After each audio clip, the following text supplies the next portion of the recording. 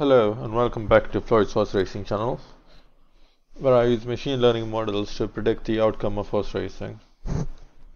We have three selections today, but before we get to this, let's look at how we did yesterday.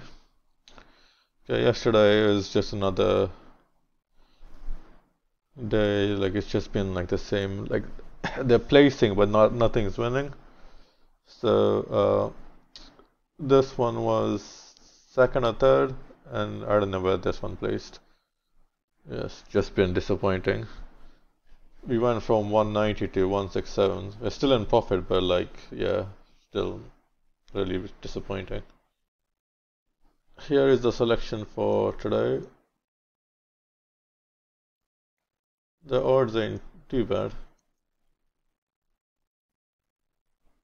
Okay, so let's get started. So this should be 272.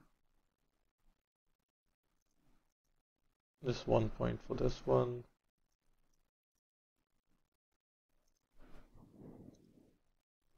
Three ten. This has drifted out a lot. We had 8.8 .8 and this is 15 now, so we'll take that. And then the last one is at Wolverhampton. 7 p.m. Watch and this one is drifted out a lot too, so it's from, it went from 5.2 to 8.2. So we'll take that. Yeah, so that's all for today. Good luck.